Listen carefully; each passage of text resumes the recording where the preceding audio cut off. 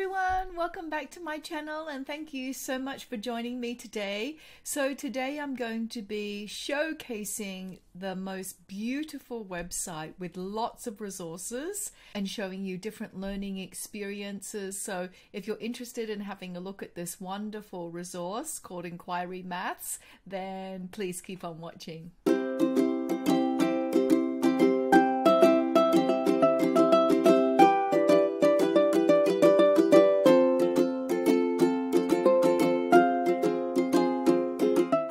Okay, so this week I'm going to be having a look at Inquiry Maths, this beautiful website by Andrew Blair, Dr. Andrew Blair.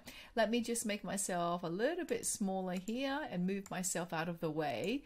So you can see it's just inquirymaths.com and Andrew has put together a lot of different types of prompts and he explains um, how to introduce a, a, prompt and um, you can see here he's got number prompts, algebra prompts, geometry prompts.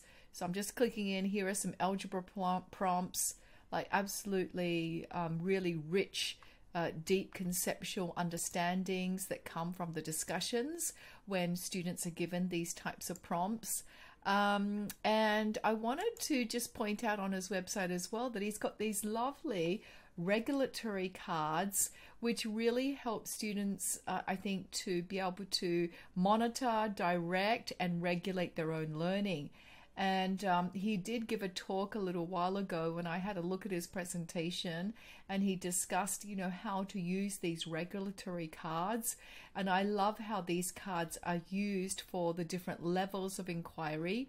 The different levels of inquiry, if I just have a look here, they're probably here in an inquiry. Yep, here we go. So if you click on an inquiry maths lesson, there's lots of wonderful, like seven components of mathematical inquiry he talks about. So, of course, there's the prompt, or we can actually call that the provocation as well, where we question, we notice, and we wonder.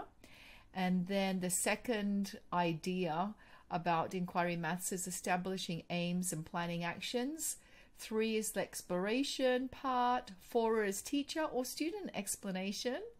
Uh, five is the reasoning improving. Six is presenting results. And then seven is reflecting and evaluating. And I love these seven components that kind of go cyclical in nature, I think.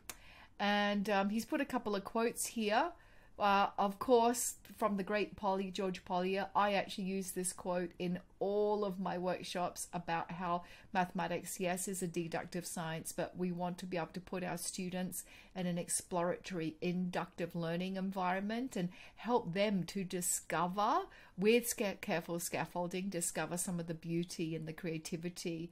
And here's another beautiful quote as well, talking about how um, it is the math- mathematician's creative work uh, to demonstrate reasoning proof, and that proof is discovered by plausible reasoning, by guessing.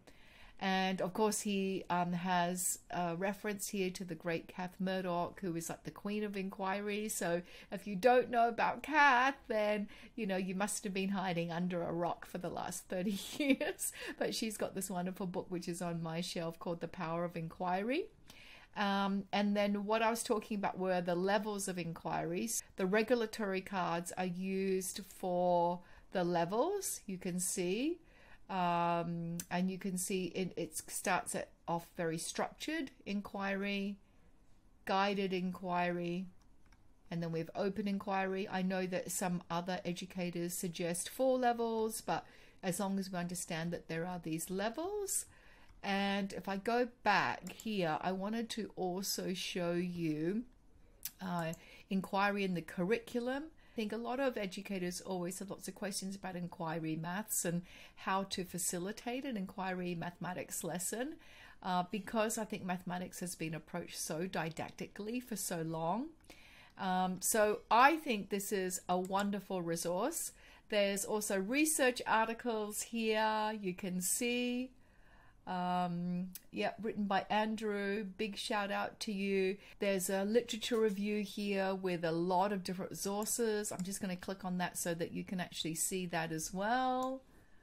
And so there's, you know, if you have colleagues or educators that are asking you for the evidence um, for the use of inquiry and the effectiveness. There are some books, chapters, and PhD thesis here.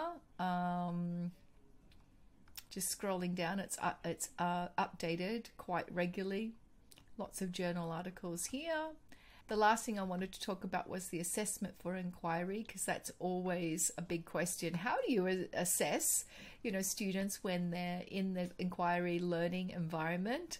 So there's assessment in the inquiry, there's assessment as the end of inquiry and assessment after the inquiry and different phases. So you can see all the guidance here from Andrew about how to assess and of course, it's going to be a lot more qualitative than just a straight quiz and a score. Uh, you can see the use of the regulatory cards. I can't wait to use them actually with my students. These I'm going to unpack this website with my students at the University of Hong Kong because I think there's it's such a rich resource and treasure trove of different ideas. So I want to thank you so much for joining me this week. Uh, I'm going to put a link to this wonderful website in the comment section below. And if you've got other great websites and resources uh, for the use of inquiry in the mathematics classroom, then please put it in a comment in the section below. And I hope to see you next time. Bye.